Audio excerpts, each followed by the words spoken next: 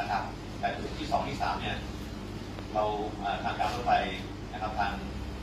ฝ่ายบำรุงนะหัวหน้าฝ่ายบำรุงกำลังตรวจสอบให้ให้มันรอบคอบอีกครั้งหนึ่งนะครับ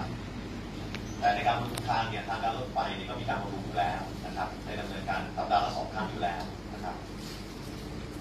ในช่วงเกิดเหตุประมาณเที่ยงในก่อนหน้านั้นช่วงเช้าเนี่ยได้มีการรบกวนการของฝ่ายการตรวจสอบว่าทำไมการเกิดมีปัญหาขึ้นมาจะได้หยุดก่อนจะลดเกิดอุบัติเหตุ อันนี้ประเด็นนี้นะฮะการการรถไฟก็มีหน้าที่อยู่แล้ว แต่ว่าเขาจะมีการตรวจจะต้องอในการสอบสวนเนี่ยเราจะมีการทำแต่การรถไฟเนี่ยมีการดำเนินการอยู่แล้วเราได้เยียวยาผู้โดยสารก็ไม่มีเจ็บไม่มีตาย แต่ว่าทางการรถไฟเนี่ยเขาก็พยายามดำเนินการอย่างเต็มที่นะต้องขอบคุณการรถไฟด้วยนะครับ เพื่อไม่ให้เสียหายภาพลักษณ์ของประเทศของเราเราได้มีการจัดขบวนเสริมนะครับ โดยมีรถบัสนะครับต่อช่วงกันนั้นการเดินทางในช่วงระยะเวลา ตั้งแต่เที่ยงประมาณเที่ยงวันเกือบตีสองเนี่ยก็ยังมีการเดินทางบางส่วนอยู่นะครับแต่การ